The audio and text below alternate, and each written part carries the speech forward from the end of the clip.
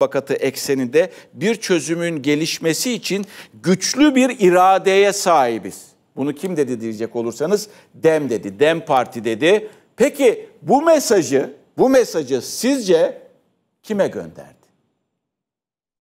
Dolmabahçe mutabakatının ruhunu canlı tutma ve yeniden masanın çözüm masasının kurulması için herkesin elinden geleni yapması için de önemli bir eşikte olduğumuzu hatırlatmak istiyorum. AKP ile DEM Parti arasında görüşmeler yapıldığı iddiaları kulislerde konuşulurken DEM Parti'den Dolmabahçe mutabakatının yıl dönümünde geldi çağrı. Yeniden çözüm süreci için iktidara seslendi. Kürt ve Türk halkının birlikte yaşama iradesini ve ortak vatanda gelecek tahayyülü açısından çok önemli bir dönemeçti. Umudu büyüten bir fotoğraftı. AKP'nin iktidarda kalma hırsına heba edildi. AKP varken asla ve kata çözüm olmayacak da diye mi? Ama bu iş çözülmeli mi? Çözülmeli.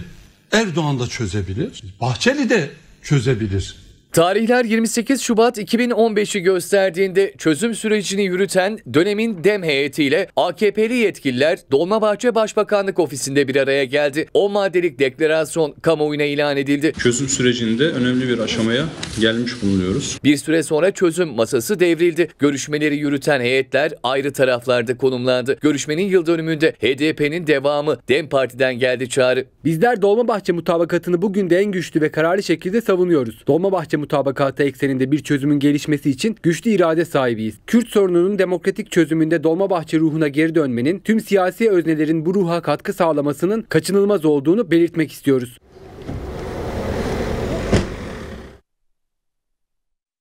Şimdi tabii 31 Mart'a kadar olmaz böyle bir şey. Bu mesaj Erdoğan'a gidiyor. Yani Dem'den AK Parti'ye gidiyor. Yani bunu bunu cesaretle sürdürebilecek tek bir insan var Türkiye'de. Çünkü kitlesi hiçbir şekilde onu cezalandırmıyor veya e, hesap sormuyor. Bugün böyleyse yarın öyle. Bugün buna alkış, yarın ona alkış. Önemli değil. 31 Mart'a kadar bir çözüm süreci olmaz. Ama dikkat edin. Yani beyin fırtınası yapıyoruz. Eğer 31 Mart'tan sonra e, kimi Kürt siyasetçiler, cezaevinde tutulan Kürt siyasetçiler, başta Selahattin Demirtaş olmak üzere kademe kademe serbest bırakılırsa, tahliye olurlarsa bilin ki bir dirsek teması var. Tamam mı? Yani e, er tabii bu Bahçeli'den haberli mi olur, habersiz mi olur bilemem. Bahçeli duyduğunda alkış mı tutar, yok yo, bağırır mı, çağırır mı onu da bilemiyorum. Yani artık tanıyamıyorum. Yani neye karar verecek veya neye tepki verir onu da bilmiyorum. Ama 31 Mart'tan sonraki süreci iyi okumak gerekiyor veya gelişmeleri iyi takip etmek gerekiyor. Emin diyor ki e, ha bu arada YouTube'da çözüm süreciyle ilgili bir e, sorumuz var. Lütfen o soruya cevap verin ardından chatleşmeye ama düzgün bir şekilde chatleşmeye e, gayret ediniz. Lütfen rica ediyorum sizlerden.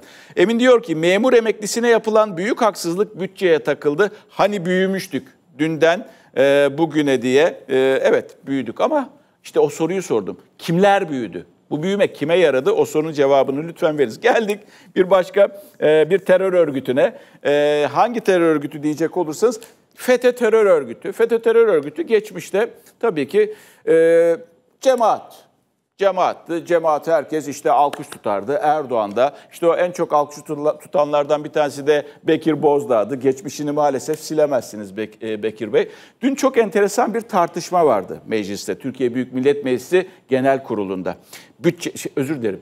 8. yargı paketi konuşuluyor, maddeleri vesaire. Tabii ki FETÖ METÖ gündemi de geldi bütçenin dışı, e, yargı paketinin dışında. Mahmut Tanal işte e, senin dedi geçmişini biliyoruz dedi. Ardından bir soru sordu. FETÖ'cüler, evet, soru şu pardon. Sor, e, Gökhan Günaydın sordu soruyu pardon. E, FETÖ'nün okullarında okumayan var mı? AKP sıralarından ben okumadım, ben okumadım diyen insanlar vardı. Bak bak